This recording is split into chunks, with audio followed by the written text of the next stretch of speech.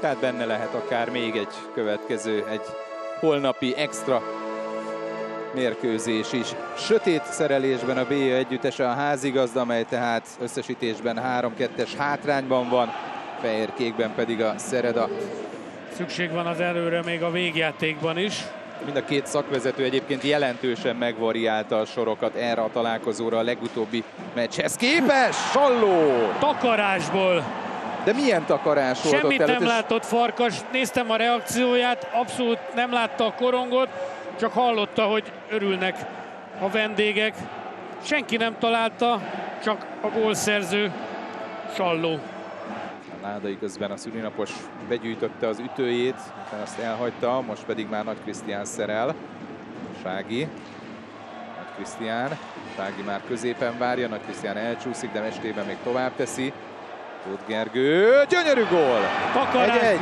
Ez is ugyanaz, takarás. teljesen ugyanaz, mint az első gól volt. És nagyjából időben is. Egyébként O'Connor itt jelzi, hogy szerinte őt zavarták és beálltak a zóna elé. Most eldönti a Szereda, hogy kérnek-e videózást kapus akadályozásért. Mondjuk nincs heves reklamálás, hát el tudom képzelni, hogy beletörődnek ebbe. És amire panaszkodott, hogy még mindig hiányzik a csapatnál a rutin, ami ugye azért a másik oldalon nem csak az évek miatt, ö, idősebb átlag életkorú csapatról Itt van van. szó, hanem azért itt komoly KHL múlt. Például Levinnél, Ennyi. és be is lövi. Szenzációs, egy óriási hiba megint hátul, és Levin aztán utána büntet. Hát Ezek nagyon sokba kerülnek a BL-nak. Saját harmadon belül úgy eladni, hogy egyből zicser, lásd előző meccs, meg most ez. Hát pont ez az, amiről Kandya Balázs is beszélt. Ezt viszont tudjuk, hogy nem volt bent. Az biztos. Ma már ennek is örülni Igen, kell. Budai Krisztián is idejött hozzánk a szünetben, és kérdezte, hogy az a vas az bent volt, vagy nem volt bent. Gyönyörű csel, és a lövés, ez bent van! Megint a harmad elején gólt szerez a B-ja. 2-2. Minden játékrész elején gól esik, ez hónajba ment el. Néhány másodperccel ezelőtt. Vas, És a A Tótó, ezúttal lottószámokat Tóth Rihárd. mondja ezt Tóth Attila. Ugye Nem, na- nem vagyunk rokonok, még mielőtt egy szeredai szurkoló ezt megjegyezné. Ferenc Sibi teszi tovább. Levin. Levin hátra. Nincs Kijön. lövés, kint volt a korong, Nem, valószínűleg jön. nem volt kint. Én nem úgy itt. láttam, de hát aztán Ezek így nem lett igen. perdöntő. Gecse, ezek szerint bent tartotta, de nem lett belőle lövés sem, Levin viszi vissza. Nem tudtak cserélni a hazaiak. Ott a lövés, gól! Eldönti a mérkőzést és a párharcot a Szereda 28 másodperccel a harmad vége előtt. Részeg Tamás a gólszerző. Ez a vége. Elődöntős a Csík Szereda.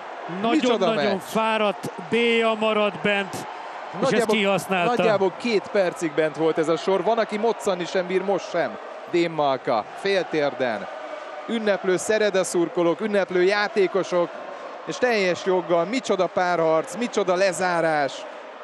És az ember ilyenkor sajnálja, úgyis megetted azt a szendvicset, néztük volna, közvetítettük volna még ezt tovább. De És ezzel magyar volt. bajnok a Ferencváros.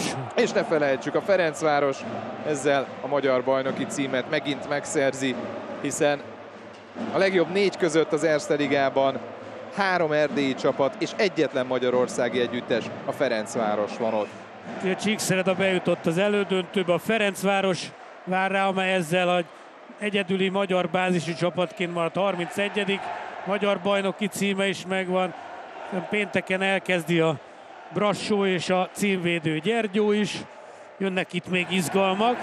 És akkor ezzel az is eldőlt, hogy szombaton az elődöntő második mérkőzését fogjuk közvetíteni az FTC és a Csíkszereda között a Tüske csarnokból. 2 óra 5 perc a meccs kezdete.